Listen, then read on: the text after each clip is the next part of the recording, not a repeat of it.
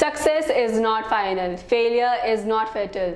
It is the courage that continues to count. With this quote, I, Monali Gupta, welcome you all to Since Independence. So let's begin with today's latest BuzzFeed. Sudden fire in the Russia's Aeroflot airline in the air. Russia's the Sukhoi Superjet passenger plane of Aeroflot airline took off from Moscow airport on Sunday morning for the north of Russia's Murmansk city at 6 p.m but only after the flight there was a fire in the plane. Mumbai Indians accomplished their ways to finals. In the 57th match of the 12th edition of the IPL 2019, the face-off battle between Mumbai Indians and Chennai Super Kings was played yesterday in which Mumbai Indians won the battle against CSK by 6 wickets at MA Chidambaram Stadium in Chennai. Rahul Gandhi sought unconditional apology in the Supreme Court for Chowkidar Chor.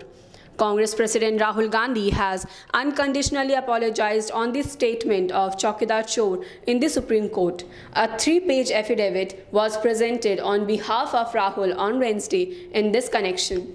Rajasthan Chief Minister Ashok Gehlot said, I strongly condemn the Thanagaji gang rape case. Chief Minister Ashok Gehlot has directed the senior police officials to take stringent legal actions against the criminals involved in it while strongly condemning the abusive massacre registered in police stations Thanagaji district Alwar. Bribe cash seized from former Rail Minister Pawan Bansal's nephew. Prior to the Lok Sabha elections, the former Railway Minister and senior Congress leader Pawan Bansal has suffered a major setback. In fact, the Enforcement Directorate has taken major action in possessing foreign assets and in two different cases of money laundering.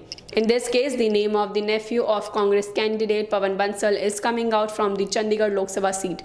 Enforcement Directorate has found rupees 89.68 lakhs under PMLA in connection with the alleged money laundering involving Bansal's nephew. Now that's all from our today's top stories. Subscribe and press the bell icon to get the latest updates. Stay in touch with us to stay in touch with our world and don't forget to follow us on Facebook, Twitter and Instagram. Details are mentioned below.